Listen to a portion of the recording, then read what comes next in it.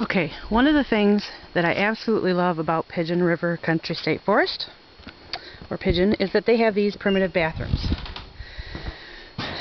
Now, it does not smell in here because people are really good about putting the seed down.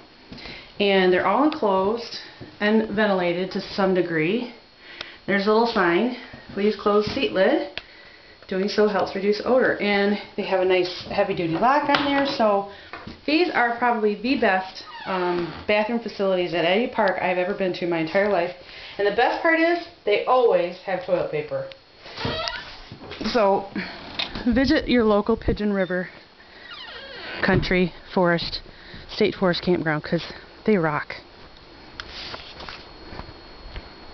And there's the well right through there. So I'm going to fill up the boys' water.